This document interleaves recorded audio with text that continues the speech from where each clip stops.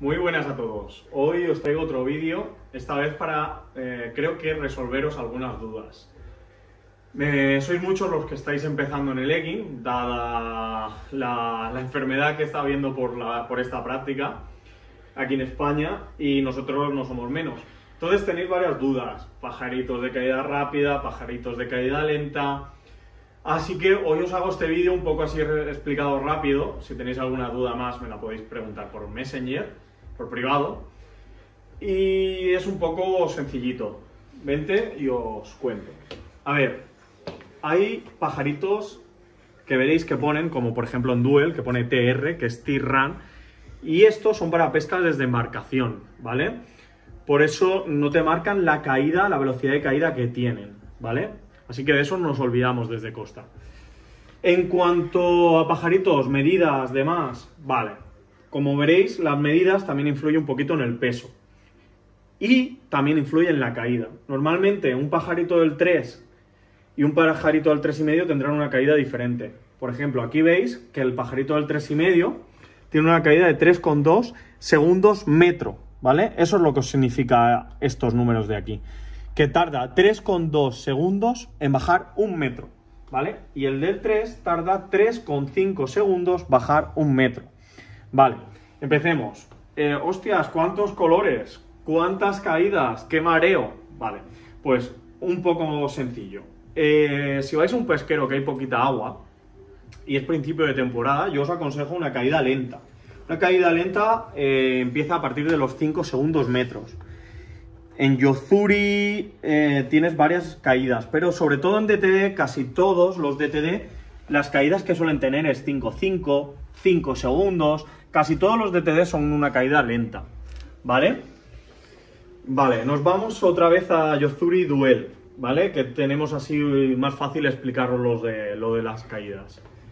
Eh, como os he dicho, la caída lenta yo os la aconsejo cuando el calamar, sobre todo el calamar, no está eh, comiendo muy activamente. ¿Por qué? Porque le da más tiempo a verlo caer, le da más tiempo a ver el pajarito como le está cayendo en, su zona, en su coto. Los, calamares son muy territoriales y muchas veces no quieren comer, quieren que te apartes de su sitio. O sea, ven, una especie de gamba que se está metiendo en su territorio, van a atacarle, le lanzan el moco.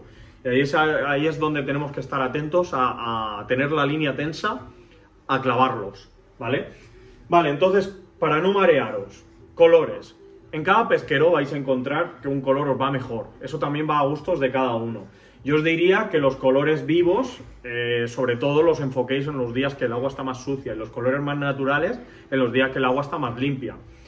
Y en cuanto a glow, no glow, normalmente no se le... No, por lo menos mi experiencia de 4 o 5 años es no darle luz ultravioleta. Cuando empezamos queremos hacer que brillen. Porque no es tanto lo que pescan. Un calamar, ten en cuenta que su rango de, visión llega hasta el ultravioleta. Entonces hay veces que lo que buscamos son pajaritos que marquen, que pongan UV. ¿Por qué? Porque en su rango de visión ellos lo están viendo de una forma diferente a nosotros. A veces pescamos con lo que nos entra por los ojos a nosotros y con lo que más confianza le tenemos. Entonces, como os digo, eh, en aguas eh, con poquita agua, caída lenta y principio de temporada.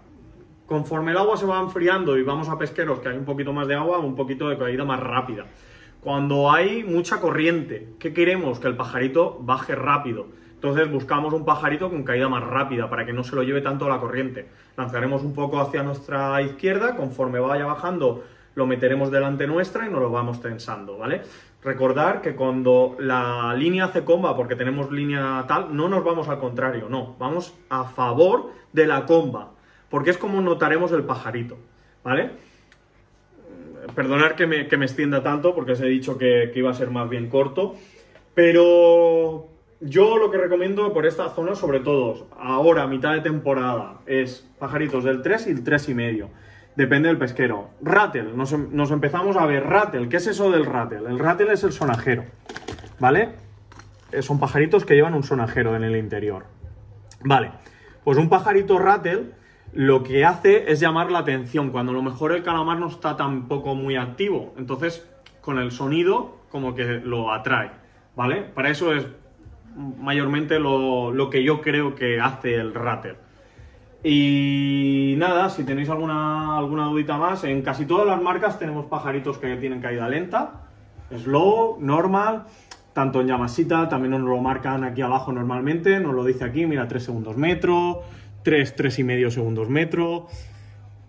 O sea, casi todas las marcas te dicen su caída. Si nos vamos a pajaritos un poco más económicos, pues normalmente no te van a decir la velocidad de caída que tienen, ¿vale? Pero ya os digo, mayormente casi todas las marcas te dicen la, caída que, ellos tienen. Así que para empezar, que os recomiendo tener algún color vivo, tanto en caída rápida como en caída lenta, y, no marearos eh, excesivamente.